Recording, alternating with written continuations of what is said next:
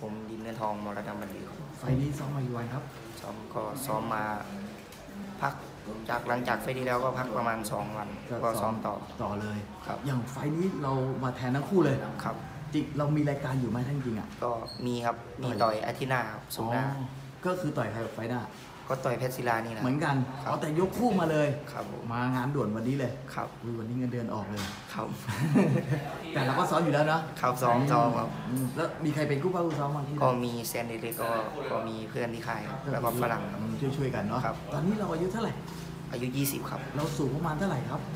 160 กว่าครับ น้ำหนักไปปล่อยๆมาประมาณกี่กิโลครับ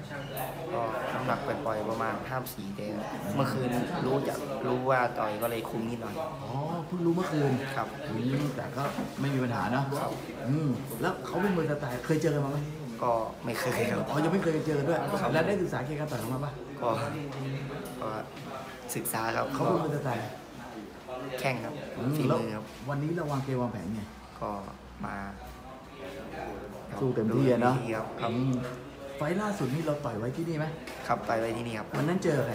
เจอกับไอ้รถเหล็กครับผมเป็นไงวันนั้นก็แพ้ครับ อ๋อพลาดแพ้เขาครับ แพ้แบบไงเบียดเบียดกันหรือว่าขาดเลย ก็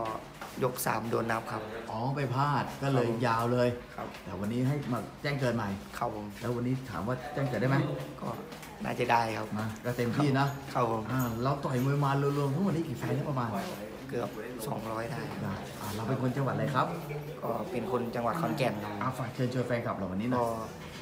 ฝากคนพี่น้องขอนแก่นซอยเชียร์และเป็นกำลังใจให้ผมนี่เลยครับมือนี้เต็มทีแน่นอนครับ ครับผมขอบคุณมากน้องชายครับ